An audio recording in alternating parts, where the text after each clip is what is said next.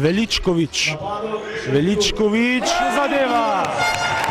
Veličkovič zdaj zadeva za dve. 15 točk in...